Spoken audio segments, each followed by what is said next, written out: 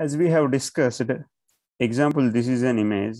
When we are using the convolution operation with the filters here, the number of parameters we are initializing by Glorot uniform, as we mentioned. Finally, we are getting some predicted value y cap. We will use a loss function. If it is a classification, we will use different different types of the loss functions uh, depending on our problem.